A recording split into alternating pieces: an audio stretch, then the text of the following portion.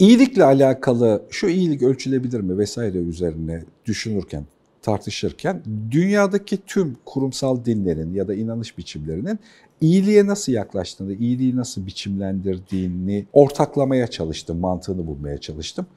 Böyle 3-4 tane temel kuralda birleşiyormuş gibi görünüyor. Bir araya geliyormuş gibi görünüyor. Birincisi hemen herkes iyiliğin iyilik yapılanı değil de yapanı ödüllendiren bir şey olduğunu kabulleniyor. Bunu bir, bir fark etmek gerekiyor. Yani biz sanki iyiliği hani karşı tarafa iyilik yapılan kişi için anlamlı bir şey olduğunu düşünüyoruz. Halbuki aslında iyiliğin varoluşunda yapanla ilgili, yapana iyi gelen, yapanı değerli hale getiren bir şeymiş gibi görünüyor. Fakat bunun işleyebilmesi için, iyilik yapanın iyilikten fayda alabilmesi için benim özetleyebildiğim üç tane başlık varmış gibi görünüyor. Birincisi iyilik yapanla iyilik yapılanın arası gayip olacak, görünmeyecek, karanlık olacak. Yani ikisi arasındaki bağ birbiriyle kesinlikle pozisyonlanmayacak. Bunu şundan kaynaklı böyle tarif ediyor. Bu bu arada yani Budist öğretilerde bile buna benzer şekilde tarif ediliyor. Bu sadece İslam'a ait bir durum değil. İyilik yapanla yapılan arası eğer aleni olursa, açık olursa bu toplumsal olarak bir statülenmenin karşılığı oluyor. Seni toplumsal olarak statülenmeden bağımsız tutmak istiyor. Yani e, sen kime iyilik yaptığını bilme, iyilik yapılan da kimden iyilik aldığını bilmesin elen ver, alan veren elle alan el bir görmeyecek birbirlerini falan kuralım. İkincisi iyilik şimdi yapılması gereken bir şeymiş gibi tarif ediyor. Şimdi yapılacak. Yarına planladığın, 3 ay sonrası için planladığın diye bir iyilik yok. Bunu anlamakta çok zorlanmıştım ama bu çok bu, tuhaf bir durum. Aslında şimdi iyi olduğunu düşündüğümüz şey 3 ay sonra iyi olmayabilir. Şimdi fark ettiysen iyilik yapılacak. Şimdi pozisyonlanacak ve değiştirilecek. Ve iyilik kurumlar aracılığıyla olmayacak kişiden olacak. Yani kurumlar aracılığıyla beraber olduğunu yine toplumsal statülenme, devlet, devlet organları bilmem ne gibi bir şey karşılık geliyor. Senden olacak. Hatta ben senin adına da iyilik yapamam. Ben cebimden vereceğim, emek sarf edeceğim. Yani hani şey, şirketinin üzerinden de iyilik yapamazsın. O şirketin üzerinden yaptığın iyilikte aslında şirketinin bir sürü küçük ve büyük düzeyde ortağı var. Onların adına karar verici sen olduğun için onlar adına iyilik yap. Öyle bir şey yok. Sen kendi cebinden yapacaksın. Kasandaki parandan çıkaracaksın, vereceksin ya da yapacaksın.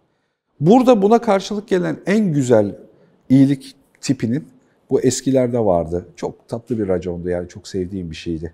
Cebinde parası olan hiç bilmediği bir mahalleye gider, mahalle bakkalına borç defterlerini açtırır.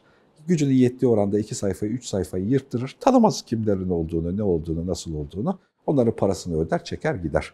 Böyle hikayeler anlatılır, efsaneler anlatılır ve bana sorsan bu tarif edilen, iyilikle alakalı tarif edilmiş havuzun en güzel karşılıklarından bir tanesi. Biçimde. İyi gelen de bu zaten. Evet yani iyilik yapana iyi gelen, iyilik yapan için dünyada anlamlı kılan bir şey var. Bu bunun evrimsel bir karşılığı olabilir. Yani gerçekten düşünsel, zihinsel bir karşılığı olabilir. Ya da istersek ezoterik bilgilere bağlayarak da bir şeylerle beraber üzerinde yorum yapılabilir hikayede.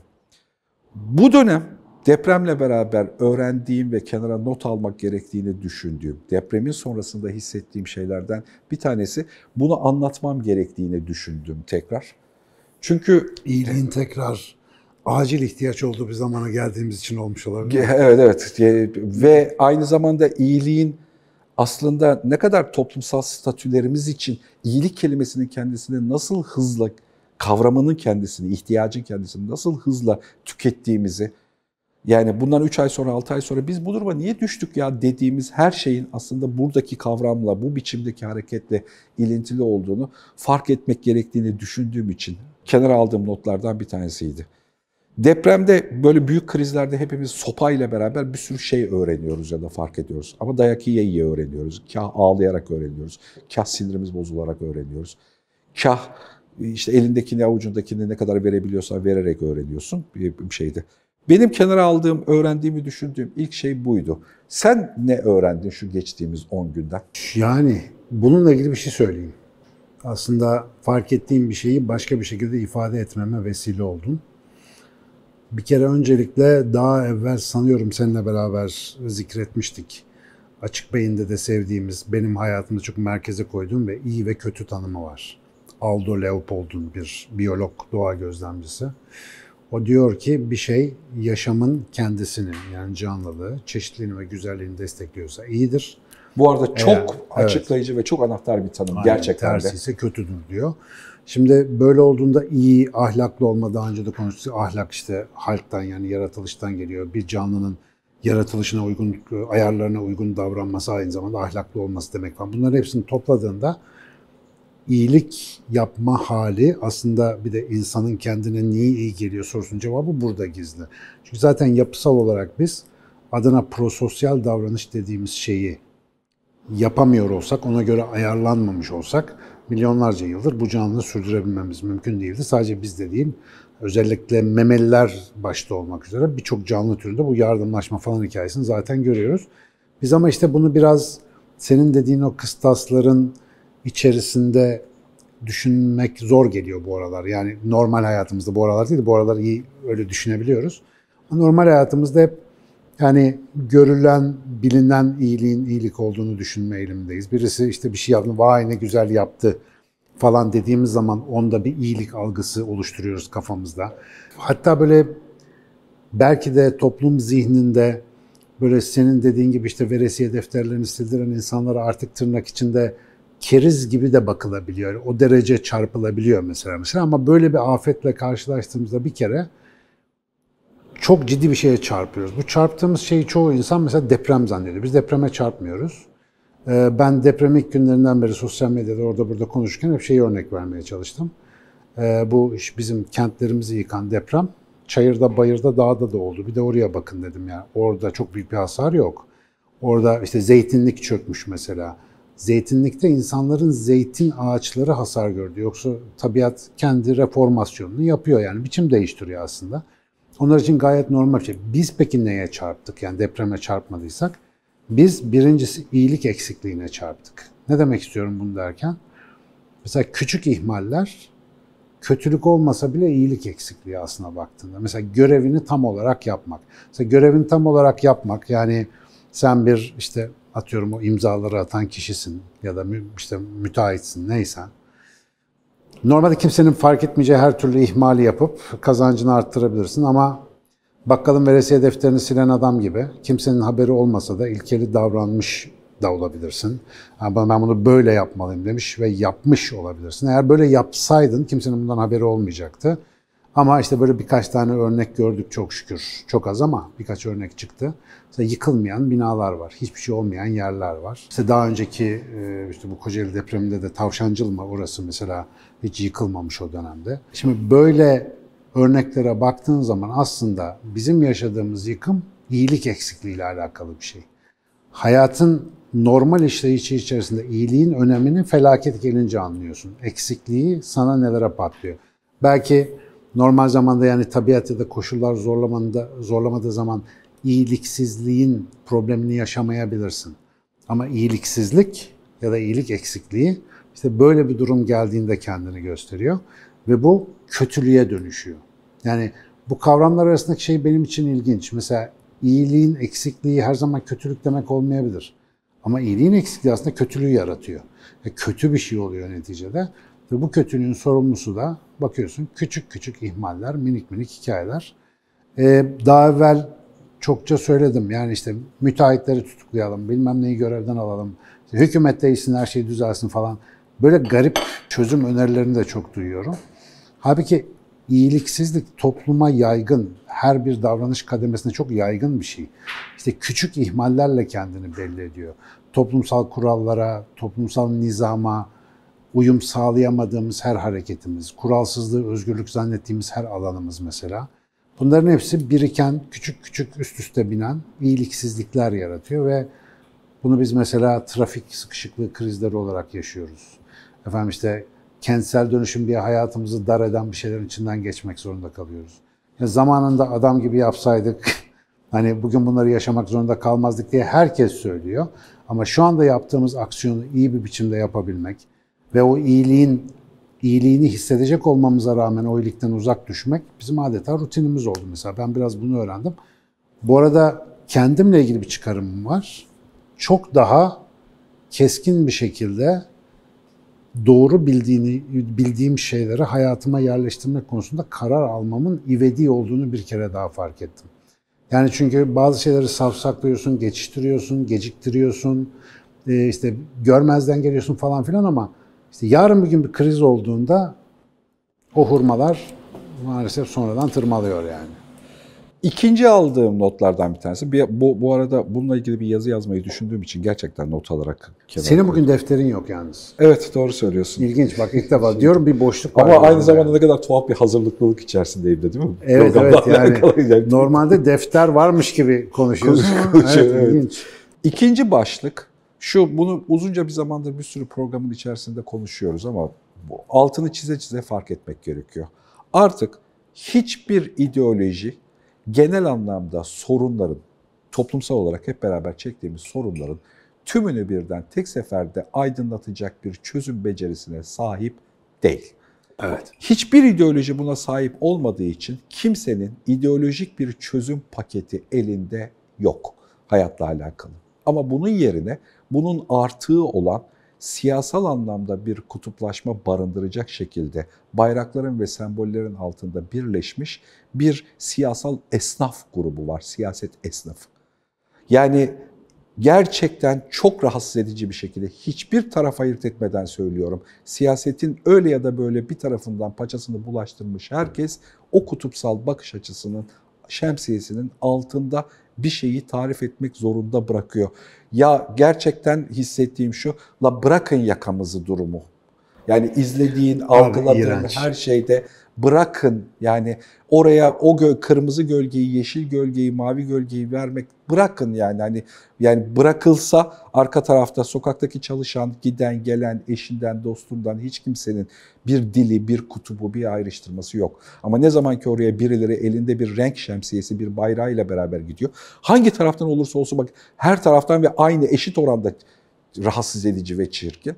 Ya çözüm yok elinde, bir çözüm paketi yok. Herkesin iddiası şu siyasetlerle. Ben gelirsem çözerim iddiası var da hani neyi teorize ediyorsun bana, neyi söylüyorsun yani çözümle alakalı belli değil. Ben gelirsem yaparım dışında söylenen bir söylem yok. Bana güvenin gerisini merak etme. Ve ve bu o kadar kutuplaşmış bir halde ki insanların enkazın altındaki kalan insanların vahim durumuyla alakalı düşüneceğimiz yerde o enkazın başında kimin onu kurtardığı, kimin o kurtarışı hangi videoyla, hangi kamerayla, hangi kanalda yayınlanacak kamerayla, hangi dille çektiği, hangi kutunun üzerinde hangi etiketin olduğuyla ilgilendiğimiz ve enerjimizin ve tavrımızın büyük bir bölümünün burada gittiğini gördüğümüz bir Yalnız şeydeyiz. bak sosyal medyada buna teşne o kadar çok insan var ki. Tabii.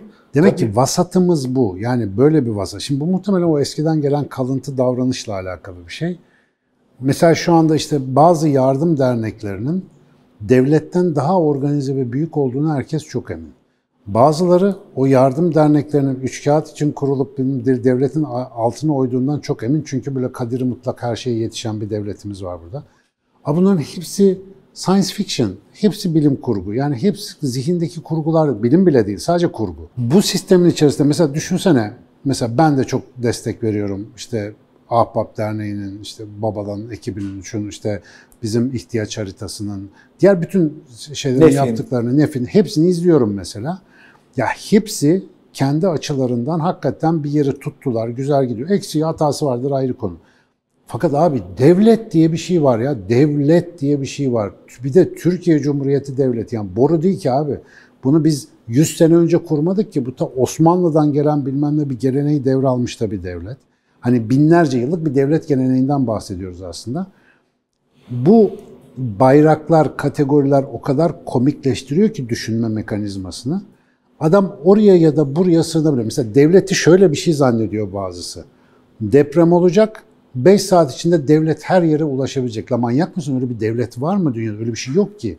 Ya bir kere fiziksel olarak yaşadığın şeyin boyutunu bilmiyorsun sen.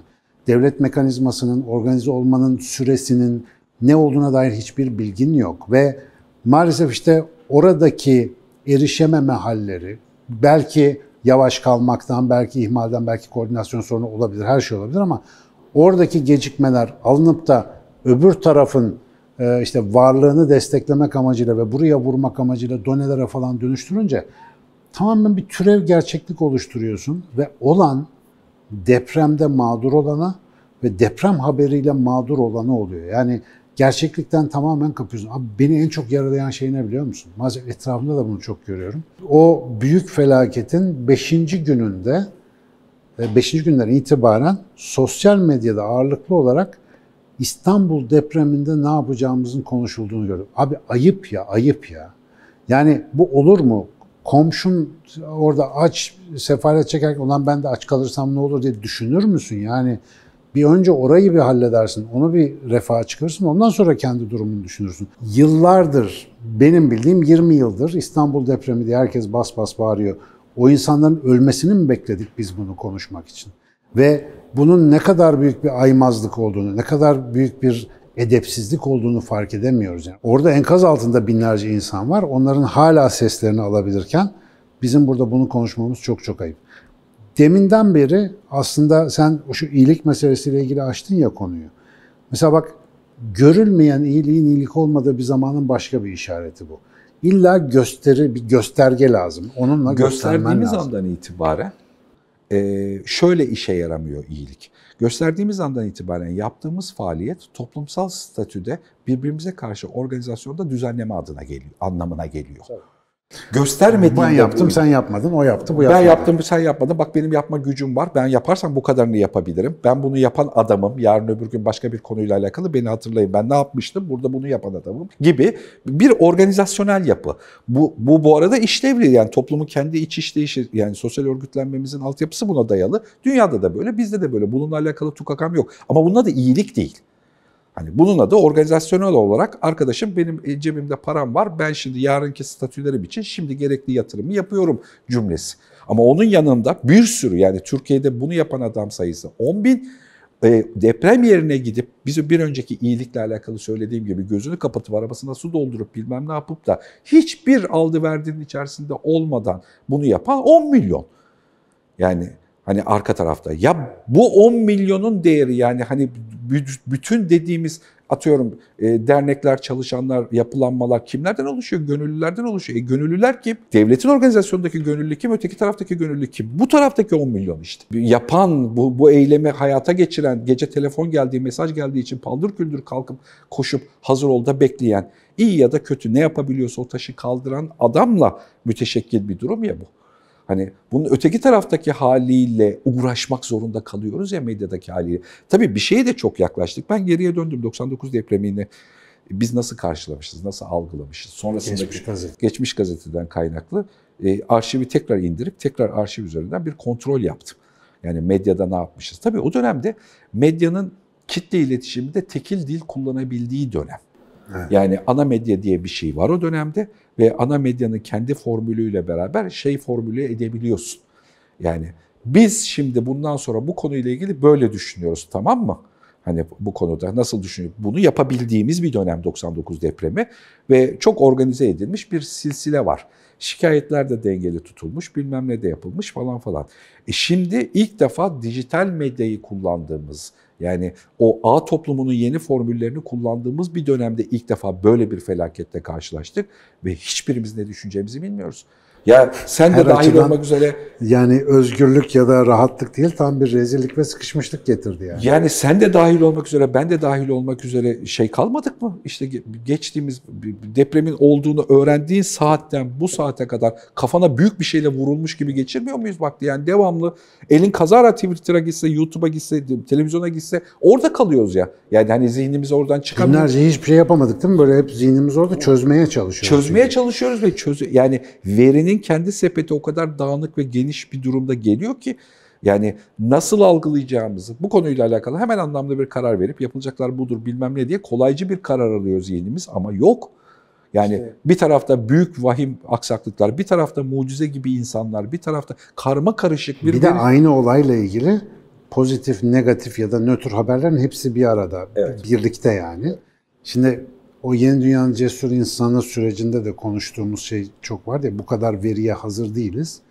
Abi algoritma çok basit aslında. Bu kadar yoğun ve çelişkili bilgi seni hiçbir şey anlayamaz hale getiriyor. Bu sende belirsizlik yaratıyor. Belirsizlik korku üretiyor. Korku insanı ila nihayet kötü yapıyor abi. kötülük yapıyorsun. Mesela şimdi o iyiliğin gösterilmemesi ilkesini gel bugüne bakalım. Ya bugün bakalım işte gösterilmeyen iyilik yok dedik ya biraz önce. Mesela sosyal medyada paylaşmaktan utandığımızı düşün. Yaptığımız iyiliği ya da yapacı yapabileceğimiz bir şeyi. Bak o zaman nasıl gerçekten hayatın içerisine kanalize oluyordu o enerji. Daha önce konuştuk ya kötü bir şeyle ilgili bir paylaşım yapmak o kötü şeye gerçek hayatta aksiyon almanı zorlaştırıyor. Çünkü orada yapmışsın gibi rahatlıyorsun. Aynı şey burada da var. Retweet'i basa basa basa basa en hızlı duyarsızlaştırma tekniği mesela. Bir süre sonra elin düşüyor. Hatta öyle bir şey gözlemliyorum ki ben bu arada hakikaten hani dini bütün arkadaşlarda falan da gördüğüm bir şey. Şimdi çok eski prensiptir. Bir dil ile yapmak vardır. Bir de hal ile, yani dil ile söylemek vardır, bir de hal ile yapmak olmak vardır. Yani demek, yapmak, olmak gibi üç basamak düşünelim. Abi öyle bir hale geldi ki bu iş. Dil ile olmaz, yapmak lazım diyerek yaptığını zanneden var. Yani bu çok komplike bir zihin hastalığı aslında. Ya öyle dille olmaz, hal edeceksin diyerek hal ettiğini zanneden var. Şimdi bunun bir zihinsel problem olduğunu anlama noktasında geçtik biz. Ee, yani bugünkü bu veri karmaşası içerisinde kendimizi tam anlamıyla kaybetmiş vaziyetteyiz. O yüzden şu anda üzgünüm. Yani kim bilir ne iyiliklerle, ne güzel onarabileceğimiz nice yara hala cılk duruyor biz bunlarla uğraştığımız için. Ve yani çoğu insan diyor ki e ne yapalım yani haber mi izlemeyelim? Evet abi haber izleme. Evet kapat. Yani aç telefonu, sor bir yakınına. Git işte ahbabımı arıyorsun, nefimi arıyorsun, işte afadımı arıyorsun, nereye arıyorsan ne yapabilirim de. Git gönüllü yazıl. Git mahallende biri hep mesela şeyi söylemeye çok e, gayret ediyorum. Yani illa depremden birebir mağdur olmasına gerek yok. Yan komşunu teskin et. Ya herkes bizim gibi gergin. Ona bu tavsiyeyi ver. Bırak abi haberleri gel bir çay içelim acık sohbet edelim de mesela. Bu bile büyük bir hizmet. Eğer bu bugün yapılamıyorsa bunun içinde bu işte veri oburluğumuz çok büyük bir yer kaplıyor sebep olarak. Yani doymuyoruz ki veriye. Sanki daha çok öğrenirsek daha çok anlayacakmışız gibi geliyor. Daha çok veri geldikçe daha anlamaz hale geliyoruz. Ve şu biraz önce söylediğim algoritma o kadar saat gibi çalışıyor ki yani işte kafa karışıklığı, belirsizlik, korku ve neticede kötülük. Daha evvel seninle konuşmuştuk yani kötülük aslında korkudan geliyor. Korkunun ürettiği bir şeydir kötülük. İnsanın yaptığı kötülüklerin tamam Hitler'in kötülüğü de yani dünyayı birileri ele geçirecek. Konusu. Organize hasta olana kadar, hasta olduktan sonra kötülük hastalıktan doğabiliyor ama hasta insanı hasta edecek kadar kötülük korkudan oluşuyor. Çok bariz bu arada. Yani herkes için, her, her ölçülebilir alan için kullanabileceğiniz bir matematik. Bir yerde nerede kötü bir şey görüyorsan kazıdığında arka tarafında korku görüyorsun. Yani bir şeyden korkuyor ve kötücülleşiyor insanlar. O yüzden İstiklal Marşımızın o kelimeyle başladığını düşünüyorum. Yani kötü olmamak için önce korkudan azade olmak lazım ya da ya da korkuyu cesarete dönüştürmek lazım yani. E çünkü hala en kolay tetikleyebildiğimiz, en kolay kışkırtabildiğimiz duygu zemini o ya. Ben onu şey diye şakasını yapıyorum işte. Doğduğun anda yüklü gelen, sana hard diskte yüklü getirilen duygu kalıbı korku. Korku doğduğun anda var sende. Çünkü bedenini hayatta tutabilmek için bir şeye karşı yani o tetikte tutman lazım. Bu korku yüklü geliyor. Sevgiyi doğduktan sonra yüklüyoruz. Ama, Ama korku yüklü. duyguların hepsini öğreniyoruz zaten. Evet. Yani hep e, aslında değişmeyen prensip âli olanı, insani olanı, yüksek olanı, iyi olanı öğrenmek ve beynin ona göre eğitmek zorundasın. Default'a bırakırsan varsayılana kötü oluyorsun, korkak oluyorsun, ürkek oluyorsun, çekinik oluyorsun, etkisiz oluyorsun en iyi ihtimalle. Ama bu iyi ihtimalle kalmıyor genellikle. Bu kötüleşmeye varıyor. Çünkü bu hayat içerisinde bir şeylerle baş etmen gerekecek. Dolayısıyla galiba bana öğrettiği en iyi şey hani kötü olmamak için önümdeki çorbayı üflemek, önce elimdeki işi yapmak. Şimdi herkesin içinden geçiyor bu işte peygamber ya da tanrı kompleksi dediğimiz şey. Şöyle bir gideyim herkesin derdini bir sıfırlayayım işte keşke trilyonum olsaydı da bassa. E yok abi yok. Peki bu durumda elimden ne geliyor sorusunu ne zaman soracaksın? Haberler bittikten sonra. Haberler bitmiyor ki. Yani ne zaman durup da şey. benim elimden ne gelir sorusunu soracaksın. Yani şu anda deprem, afet bunları konuşuyoruz ama afetler çağına işte güneşin de konuştuk o kadar afetler çağına girdi. Bu arada yani bu sürecin içerisindeki bu karmaşanın rabarbanın içerisindeki duyduğum en doğru cümle şu Güneş'in söylediği cümle. Evet. Bak evde Seda'yla da konuşurken altını çize çize konuştuğumuz bir şey. Yani biz aslında farkında olmadan neredeyse son 5 yıldır kesintisiz bir şekilde felaketler zinciri konuşuyoruz. Dünyada da öyle, burada da öyle. Koca kıta yandı, burada orman yangınları, müsilaj, Covid-19, depremi vesaire hiç kesilmeyen bir felaket. Artacak da yani. Frekansı artıyor. E şimdi bu artacak dediğimizde böyle korku teması konuşan falcılar gibi oluyoruz ama yani Güneş'in bunu çok daha sağlıklı bir yerden konuşuyor. Ee, düzgün bir yerden de tarif Tabii ediyor. tabii. Nedeniyle, Zaten onunla da bir, bir daha konuşacağız. Hani Evet. biraz daha detaylı şimdi çünkü bugünlerde daha fazla ihtiyaç var. Muhtemelen bu video yayınlandığı sırada onu da Belki, yayınlamış oluruz evet. diye düşünüyorum. Ee, ama burada işte mesela en temel insani beceriler tekrar gene önemli olacak. Yani korkarak kötüleşeceğimize ne yapacağımızı anlayıp harekete geçelim. Yani işte o yüzden de bir haberleri kapatın. Bizi kapatmayın da haberleri kapatın. Burada Bu liberalizm ve kapitalizm hakkında konuşuyorken böyle cebimizden rahat rahat konuşuyoruz. Yani çok kapital bir dünyada yaşıyoruz. Kapitalist bir dünyada yaşıyoruz. Ve gittikçe de daha da kapitalistleşiyor. Liberal de bir yapıda yaşıyoruz.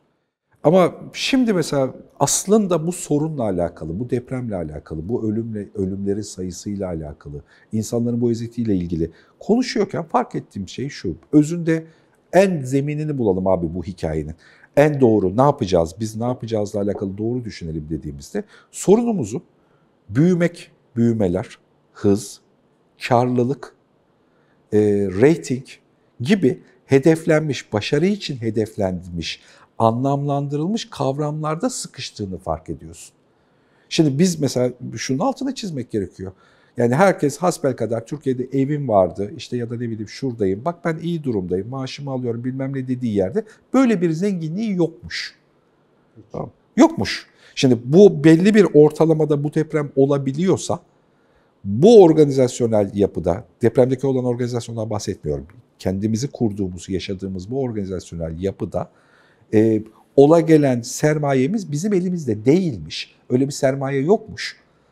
O sermayeyi gerçekten işte tek seferde, tek bir hamleyle kaybedebiliyormuşuz elimizde. O kadar ev yokmuş, öyle bir arazi yokmuş, öyle bir statü yokmuş, öyle bir tanım yokmuş. Hani bu bir gerçeklik değilmiş.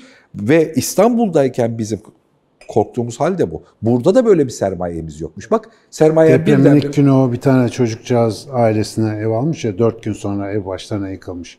Seneler boyunca para biriktirmiş, tapusunu da sosyal medyada paylaşmış.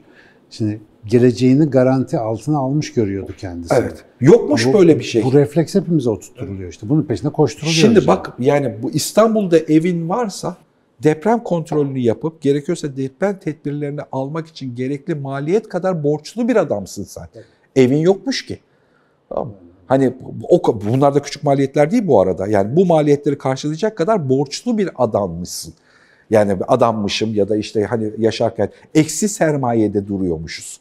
Hani bu konuda gerekiyorsa o evi... Şimdi herkesin en büyük eziyetini çektiği şey e, ne yapacağım gerçekliğiyle düzgün bir soru soruyor. Ne yapacağım diyor. Ben şimdi belediyeye burayı kontrol eder misin diyeceğim. Gelecekler kontrol edecekler. Burada yaşayamazsın abi diyecek. E ne yapacağım? Ev gitti elden. Nerede yaşayacağım?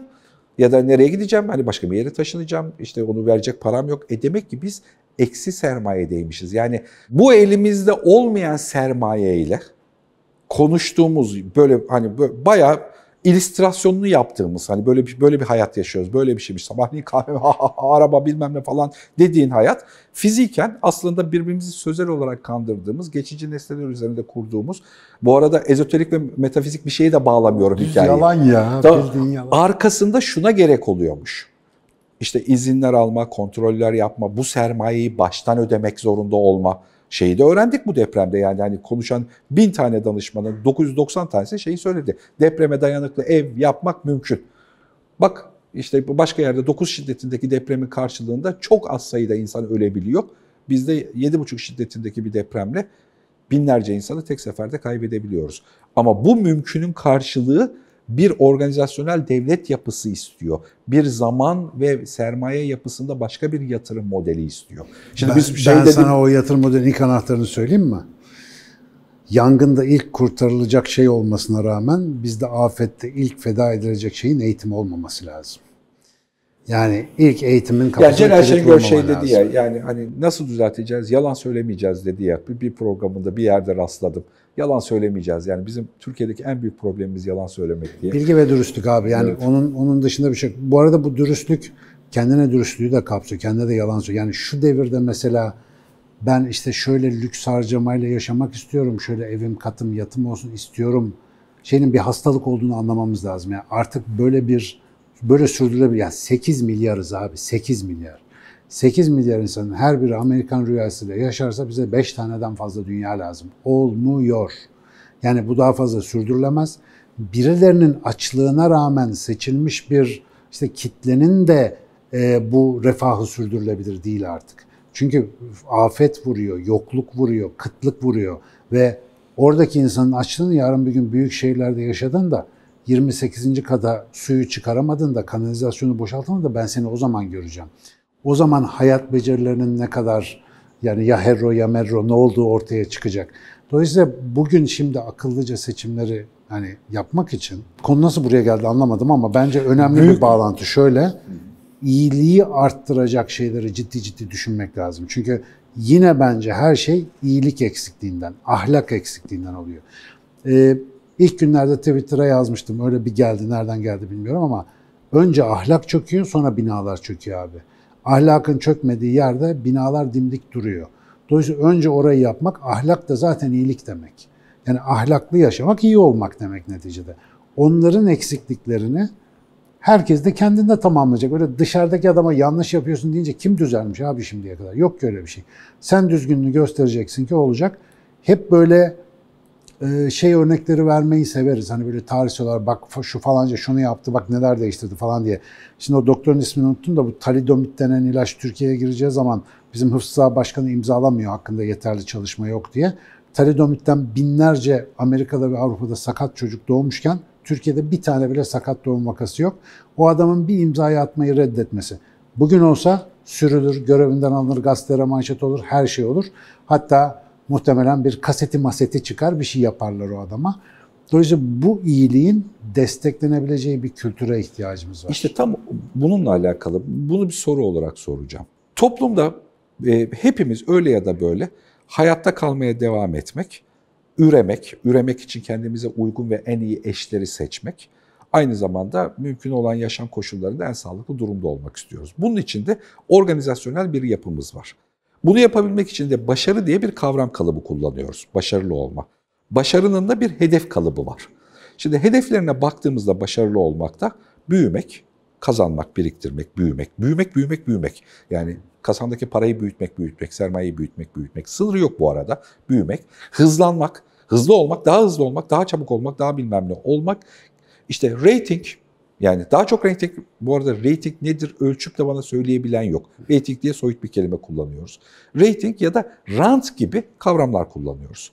Şimdi bunların haricinde toplumsal statümüzde daha iyi eş bulmak, sağlıklı ve mutlu olmak, hayatıma devam ettirmek için başarı kelimesinin altında hedef diye koyacağım başka bir kelimeyi, kavramı bunları kaldırıp yerleştiremediğim sürece bu döngü aynı şekilde devam ediyor.